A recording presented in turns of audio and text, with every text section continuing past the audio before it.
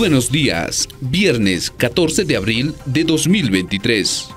Maestros volvieron a movilizarse este jueves. Cuando llegaron a la avenida Arce, atentaron directamente contra la humanidad de los policías que resguardaban las instalaciones del Ministerio de Educación. Dos policías resultaron heridos.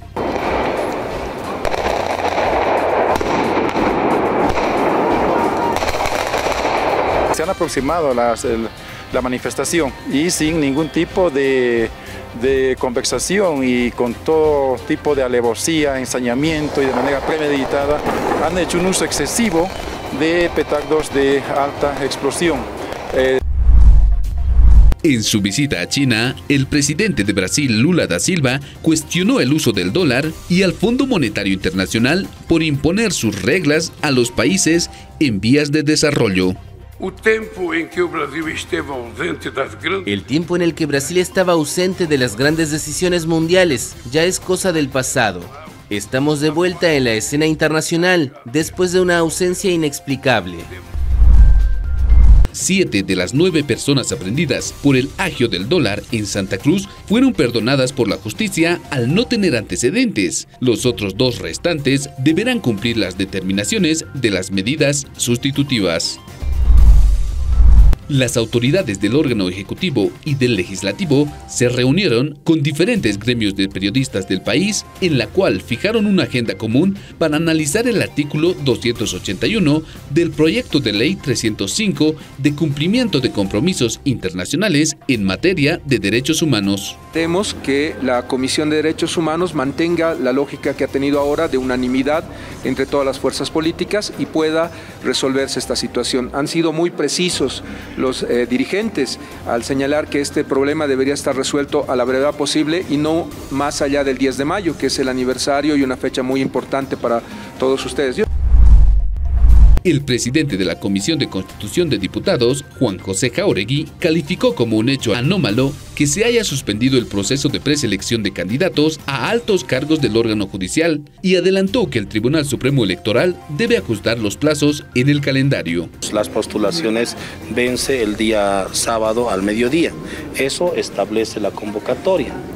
La cantidad de días eh, se verían reducidos en un día y unas cuantas horas más y este hecho ameritaría de que tengan que reunirse las comisiones mixtas para que podamos ver la reprogramación de algunos plazos y permitir la viceministra de Comunicación, Gabriela Alcón, confirmó que el presidente Luis Arce continuará su agenda con la entrega de obras en el departamento de Tarija y además participará de los actos oficiales. Sí, el presidente está en este momento, de hecho, en Tarija, está cumpliendo una agenda, va a participar de distintos actos y eh, lo que corresponde también hablar de la inversión que se tiene para el departamento, considerando que hay obras importantes.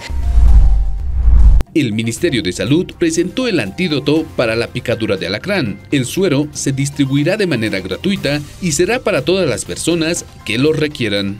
En Bolivia por primera vez ya estamos produciendo nuestro suero antiescorpiónico, nuestro antídoto antiescorpiónico.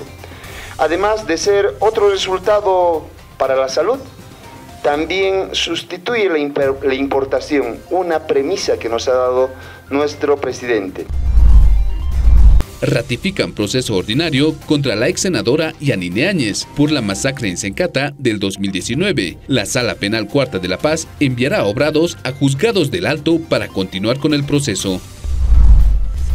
Tres investigados por el paro cívico de los 36 días se presentaron ante la Fiscalía. Rómulo Calvo y Reinero Vargas guardaron silencio por los hechos violentos y vulneración de los derechos humanos.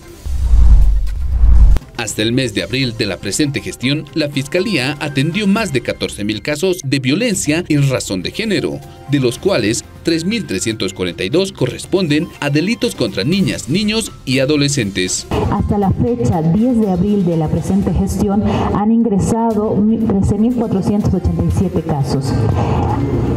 Misma fecha, en la gestión 2022 habrían ingresado 13.568. Hemos evidenciado un decremento de 81 casos en el, en el mismo rango de periodo en la gestión 2023.